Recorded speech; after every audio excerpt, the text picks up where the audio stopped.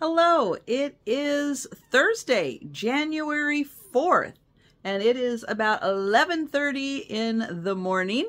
Uh, so the morning sale has wrapped up. I've got the table all organized so we can talk about what's sold, what is still available. Um, mail for today. Yeah, talk a little bit about the mail. Uh, if you saw yesterday's vlog, you saw that I had the yucky mail carrier who does not pick up, who lies and says that they picked up more packages than I requested to have picked up, even though they picked up zero. Yeah, I still don't quite understand that. Um, but I requested two packages to be picked up yesterday.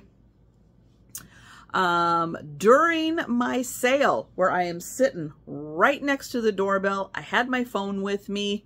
If they had rung the doorbell, I would have seen it, I would have heard it, um, but they did not. But I got an email during the sale that said that they had successfully completed my pickup. And even though I requested two packages be picked up, I noticed the email confirmation from USPS said that they picked up four packages. So not only is the mail carrier not picking up, but they are lying and saying that they are picking up more packages than I requested. Yeah, good job, USPS. I know it's tough hiring good people out there, but you know what? You don't have to put them on my route. You can go put them on someone else's route. And I pretty much told them that. Whether that'll do anything or not, but I did put in caps, I do not want this mail carrier on my route anymore.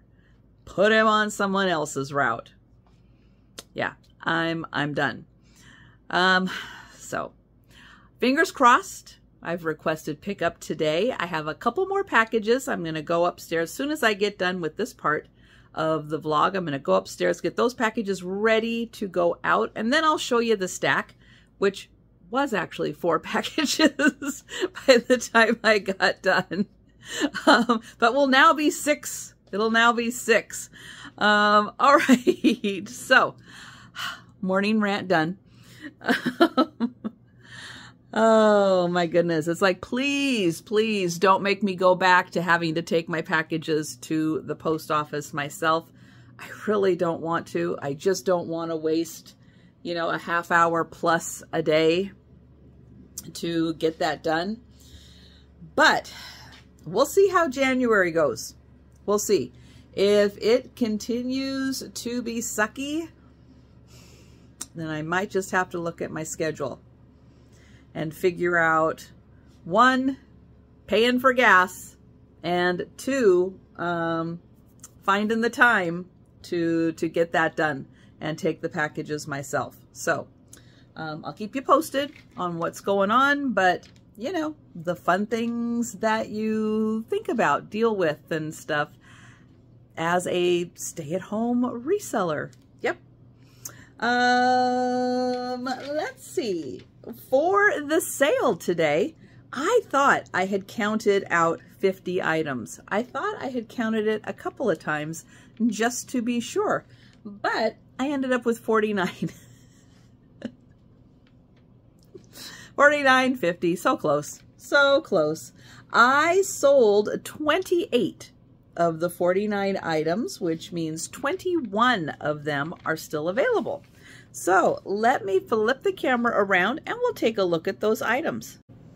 All right, so the items still available. I will tell you the price. I will tell you, um, like for rings, the sizes and things. Um, if you have questions on any of these items, though, feel free to put those in the comments and I'll get back to you as soon as I can. Um, and if you want to purchase anything, please let me know.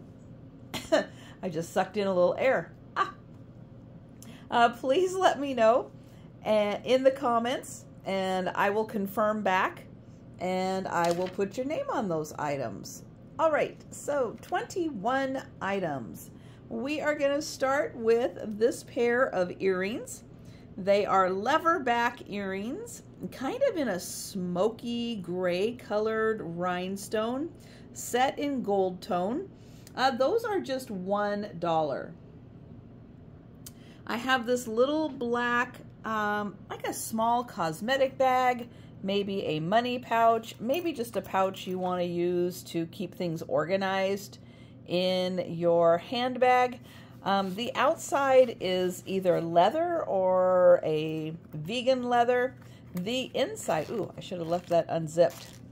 Uh, the inside is a really nice nylon that can be easily wiped down. That's going to be really hard to see because it's black, but very easy to wipe that down. Uh, that is $1. uh, a couple of books. Um, a few of these are by an author named Maeve Binchy. She is an Irish author.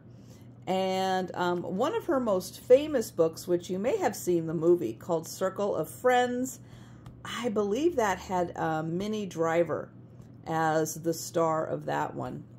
Um, this one takes place in a Greek seaside village with a bunch of people getting to know each other. Um, very slice of life kind of stories. Uh, this one is $1 for Nights of Rain and Stars.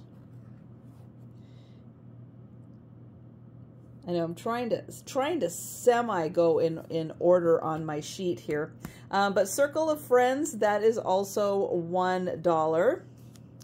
Uh, this book by Dean Koontz, uh, Strangers.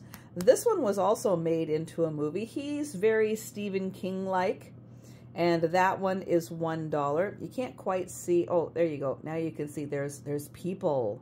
There's people in there. Uh, this one, another Maeve Binchy called Quentin's, and that is a about a restaurant. Um, a couple of Dilbert books. This one is Thriving in Stu Thriving on Stupidity in the 21st Century. Uh, that one is $1. The uh, Dilbert Principle a cubicle's eye view of bosses, meetings, management fads, and other workplace afflictions. That is $1. Uh, ben Bova's Mars. He is a Hugo Award-winning author, and it is about the first manned expedition to Mars.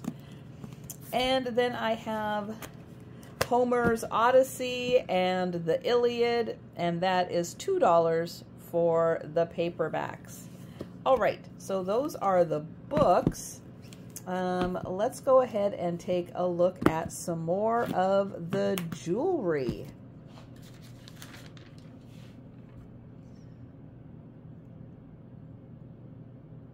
Okay, I'm just going down my little list here to make sure I got everything. Okay, uh, next up is the bracelet. This is an 8-inch bracelet, but it can actually be extended longer. So here is the extender on it. So it could also be an a anklet. So a bracelet or an anklet, silver tone, and it has this beautiful rose on it. Uh, that is $2. This clear bead necklace, there is no clasp on it. It is 32 inches. Um, it starts off with smaller beads, and then as you get towards the, the center, you get these larger beads mixed in. So that was 32 inches, and that is $3. Uh, this gold tone ring, which is adjustable larger, it is currently at an eight and a quarter. It has a beautiful red center and then side clear. So this is an eight and a quarter, $3. Uh, this silver tone ring. Ooh. There we go. It has a, that is hard to see. There, there's the light, maybe. Oh my goodness here, let's try, it. let's try it with the floor as the background. There we go. Uh, it does have cutouts on the sides. It has a center round followed by a square row of clear. This ring is, ooh, what size is it? An eight and three quarters. And that is $3.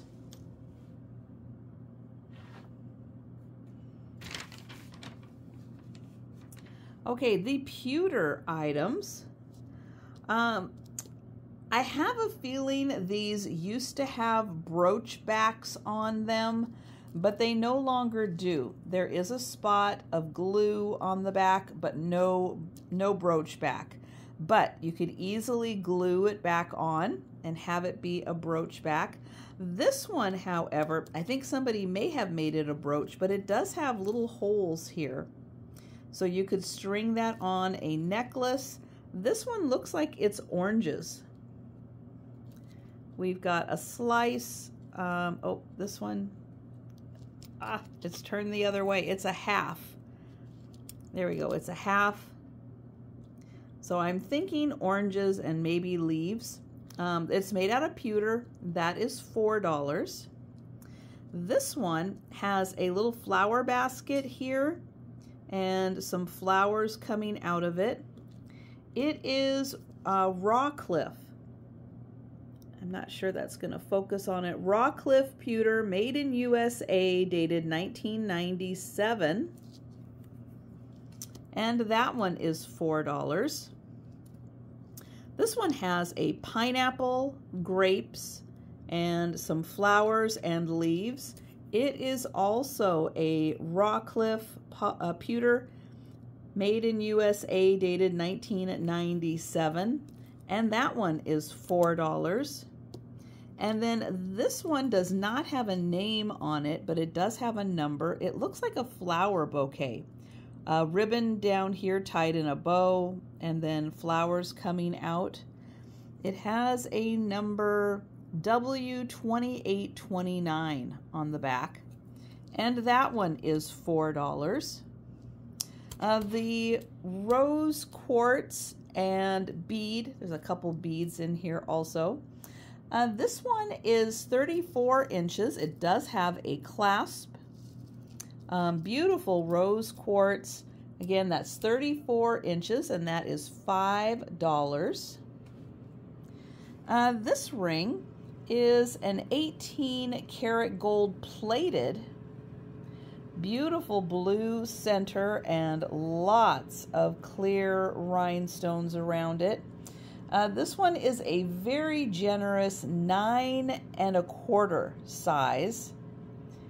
18 karat gold plated nine and a quarter size and that is eight dollars and then the last item is this Dante Genuine Tiger's Eye Cufflink and Tie Clip set. Um, this is a very fancy cufflink set. And then here is the pin back for the tie clip in a great um, gift box, all ready to go. Father's Day graduation gift. Uh, that is $10. And those are the 21 items that are still available after the morning sale. Um, all right, I'm going to come over here and we're going to show the items that are uh, that sold during the sale. Um, oh, I was going to grab my black light. There we go. Because a couple of these items um, were very reactive. So the butterfly um, enamel, very reactive to the black light. Isn't that fun? And the other item was this one. So not the center stone, but all of the others. Look how fun that is when they are reactive to the black light. I think that is it though. I'll, I'll double check. Let's see. I believe. And, oh yeah, and then a lot of times um, like white beads like that will, will react also. Uh, but yes, we have the butterfly necklace. We've got a pair of clip-on earrings, these really pretty bead, like um, AB bead, a bracelet, a couple of rings. Um, these two were sterling. Those were sterling rings. Some bracelets. These were actually, um, just like the rose one, could be converted into an anklet. Uh, this was an um, abalone bracelet, a beautiful rose gold ring, a couple of these gold tone necklaces, a black bead, black and clear bead necklace, a black bead uh, bracelet that has a rose made out of beads. Ooh, that is going to be hard to see. Let's get it over here and see if that helps at all little bit. You can see that pretty rose. Uh, this is a shell bracelet. And then some of the books that sold. Cat book, a Hallmark book, some um, game uh, books, a handbag, a couple of Clinique bags, an Escher book, and another cat book. Um, all right, I'm going to flip the camera back around. Okay, so I am now going to go ahead and do postage next. Make sure I get the postage done in case I get the mail carrier here real soon. it's getting close to noon, and I like to have my postage done by noon just so it's ready to go if the mail carrier gets here. Uh, so I'm going to go do that first, and then we'll talk about the mail, and then I'll let you know kind of what's going on with the table and the rest of my day. All right, it is about a quarter after 12 and I've got um, my two additional packages done. I'm going to over. So uh, here are the four packages from yesterday. The two additional ones I added on top there today. And fingers crossed, my mail carrier comes and picks them up. All right, I am going to uh, work in the um, back there where I do my sales and um, organize the table, get that all cleared off. The um, still available items are going to hang around down here. So in case someone is interested, I can grab it real easily. The solds are going upstairs because that's where I'm going to be heading as soon as I get that organized. I also am going to be having a sale tomorrow morning. So I need to look around and see what I'm going to be bringing to the sale. And um, if I find something also that I'm going to pull for the Friday evening sale, I'm going to get that organized and kind of prepped on that also. Um, yeah, that is what I'm going to be doing. Um, otherwise, unless um, some other things sell or something else happens, um, this is probably going to actually wrap it up for the vlog today. And I, um, yeah, I'm going to, it's kind of an icky rainy day. So it's a great day to stay inside and pack an invoice, which is what I'm going to be spending most of today doing. Soon as I have some lunch. that will definitely be next on the list. My lunch, the cat's lunch. Uh, we'll get get us all fed and then head upstairs. Um, but Thank you so much for watching. I will see you tomorrow.